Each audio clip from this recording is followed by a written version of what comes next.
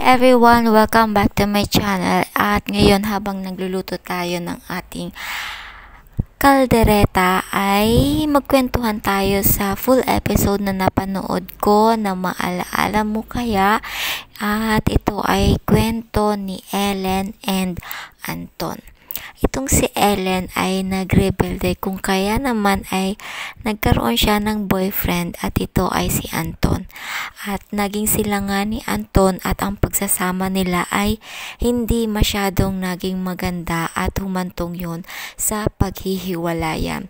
Kung kaya naman itong si Anton ay nagpaubaya dahil noong sila ay mag-boyfriend ay maraming hindi gusto si Anton kay Ellen dahil gustong baguhin ni Anton itong si Ellen. Ito namang si Ellen ay hindi niya masyadong sinusunod ang mga sinasabi ni Anton kung kaya hindi sila nagkakasundo. Pero nagbago naman paunti-unti itong si Ellen subalit bumalik din siya sa kanyang gawain. Kung kaya naman ay hindi naging maganda ang kanilang relasyon at silang dalawa ay naghiwalay. So matagal silang hindi nagkita nila Anton at Ellen at itong si Ellen ay nagkaroon ng panibagong boyfriend na uh, si Joey. Ayan, uh, itong si Joey ay hindi siya binabago at uh, tanggap siya nito kung ano siya. Subalit hindi rin sila nagkakaintindihan ni Joey.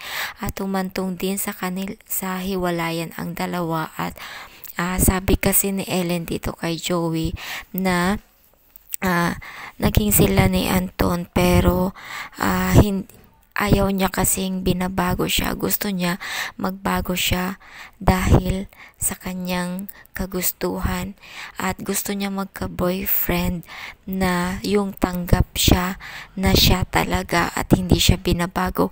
Kung kaya naman itong si Joey ay nagalit ito kay Ellen at sinabi niya na bahala siya at balikan niya na lang si Anton. So, nagpaalam itong si Ellen dito kay Joey at uh, umalis na itong si Joey sa kanyang buhay. At itong si Ellen ay kinausap niya ang kanyang best friend na magbabago daw siya. At yun mga nangyari noon dahil lamang sa kanyang pagre-rebelde. At itong best friend niya naman ay nakasuporta sa kanya at hiningi ni Ellen ang suporta ng kanyang best friend. At yun ay sabi ni Ellen na magbabago siya dahil sa kanyang gusto hindi dahil sa ibang tao. At itong si Ellen ay nakapagdesisyon na nga na magbago and uh, sabi ng kanyang best friend na paano kung magkabalikan sila ni Anton. And sabi ni Ellen ay kung magkita man sila uli ay siya nagbago siya hindi dahil kay Anton kundi dahil sa kagustuhan niya. At uh, itong si Ellen ay dumating ang panahon na gumraduate na sila kasama niya ang kanyang best friend at hindi niya alam na itong si Anton ay nandoon din at nag-graduate din. Katapos noon, dun sila nagkita ulit ni Ellen at ni Anton. Nag-usap pa nga sila pero hindi naman sila matagal na nag-usap. Nag, uh, parang nagkumustahan lang. And yung best friend naman ni Ellen ay uh, nagpakasal and uh, syempre dumaliw dun si Ellen and imbitado din pala itong si si imbitado din pala itong si Anton ng kanyang best friend at dumalo doon itong si Anton at nagkita ulit sila ni Ellen at itong si Ellen at si Anton ay nag-usap doon and sinabi ni Ellen dito kay kay Anton na kung gusto daw siya nito ay idaan siya sa ligaw. And ito kasing si Anton ay nag uh, popersa na maging sila ulit nitong si Ellen na pagbigyan siya ng isang pagkakataon na magkabalikan sila. And itong si Anton sinabi pa na na kung pwede daw sila, can you marry me? Can you be my girlfriend? And sabi naman ni Ellen ay kung magkaka-boyfriend ulit siya, gusto niya tanggap siya kung sino siya and nagbabago siya dahil sa kanyang sarili. At sabi niya nga dito kay Anton na ligawan siya kung gusto talaga siya nito. And si Anton ay natuwa dito dahil sumang-ayon ito si Anton na ligawan itong si Ellen.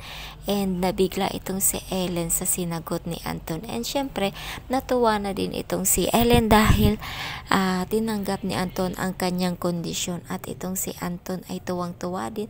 And ayun ang kanilang kwento at uh, naging sila na nga ulit and nga, sa ngayon ay masaya silang nagsasama kasama ang kanilang dalawang anak. So nagkaroon sila ng dalawang anak and masaya silang nagsasama as uh, mag-asawa at itong si Ellen ay masayang masaya sa kanyang naging desisyon na magkaroon ng isang asawa katulad ni Anton at nagbago siya hindi dahil sa ibang tao or dahil kay Anton kundi dahil sa kanyang sarili dahil sa kagustuhan niyang magbago. So, ayan guys ang ating uh, istorya dito sa maalaala mo kaya na napanood natin na uh, nakapulutan natin ng aral na